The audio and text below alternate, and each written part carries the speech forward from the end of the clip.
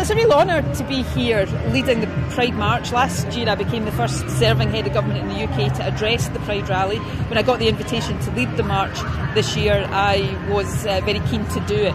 Pride marches are all about celebrating and affirming values that I think are important to many people across the country values of tolerance and respect and diversity and love.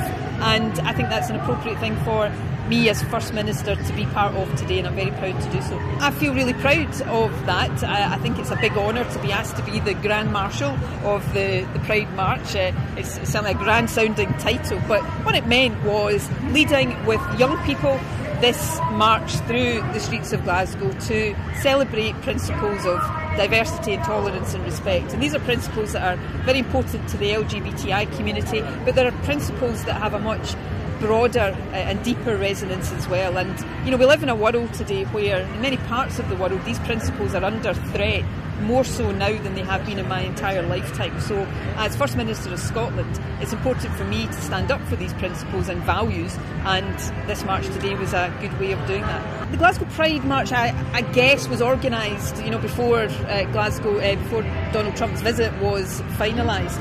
Um, I've not refused to meet Donald Trump. If the opportunity arises to meet the President, I will do that, and I'm sure if in the future that opportunity arises, we'll have lots to talk about about the close and very important links between our two countries. But of course, you know, in democracies, it's also important to be able to focus also on where we perhaps disagree, and lots of people disagree with many of the policies of the Trump administration. It's not personal, it's about policies.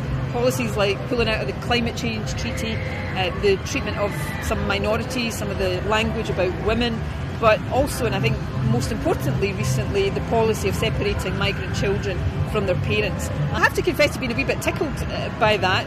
I, kind of find it hard to believe, though, that the President of the United States, with all of the big important issues that he has to deal with on a day to day basis, finds the time to rant about me down the telephone to Theresa May. But if it is true, I suppose I should take it as a compliment. Uh, I have to say, I don't spend that much time talking about him.